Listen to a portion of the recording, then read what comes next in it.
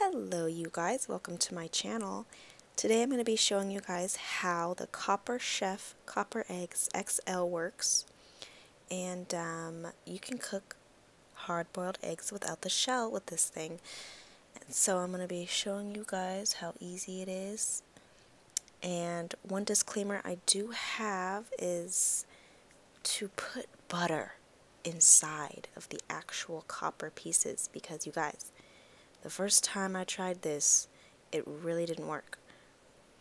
The eggs didn't slip out of the non-stick coating as easily as I thought they would, but with the smallest amount of butter, um, they came out just fine. So you just take off your cute little plastic caps and crack your eggs right into the egg makers. Don't mind my cat.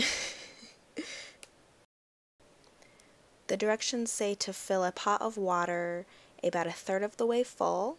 So you can boil that and make sure that it's big enough to fit the entire caddy.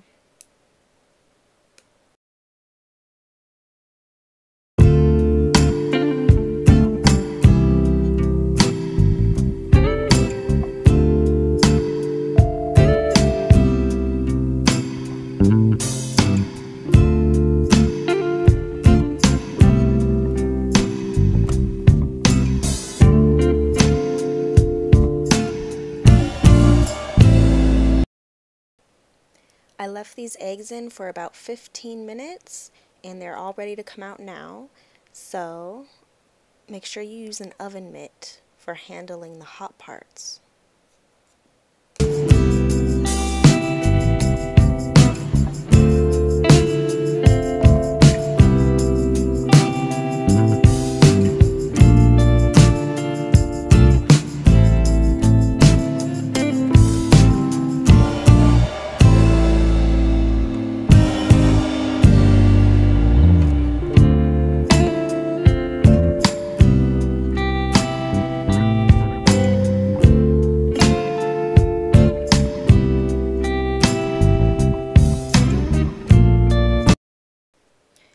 Now, moment of truth, it's time to take the eggs out. And after a lot of shaking, you see that they pop right out of the egg makers. Keep in mind, I did add butter to have this slick result.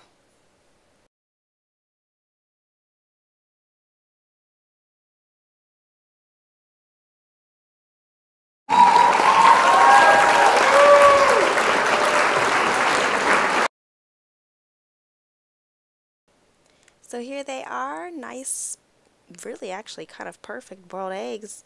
Um, I like them soft and these are exactly how I like them.